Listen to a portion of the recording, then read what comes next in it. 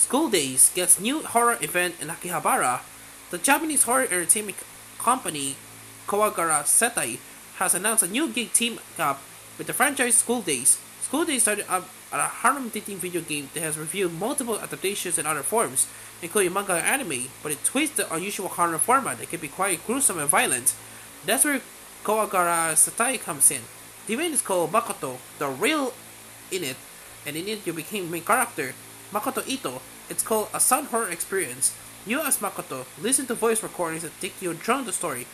The scenario is that you're out shopping for rings with Kotonoha, and the voice actors with the anime have been brought back to record lines.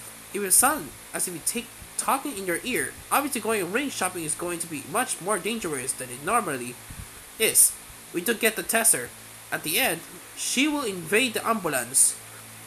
The event begins on December 24, and if you're thinking it this might fit better with Halloween than Christmas Eve, just keep in mind that December 24 is seen as a romantic day than many in Japan. So school days, being school days, it's twisted another romantic thing into something darker.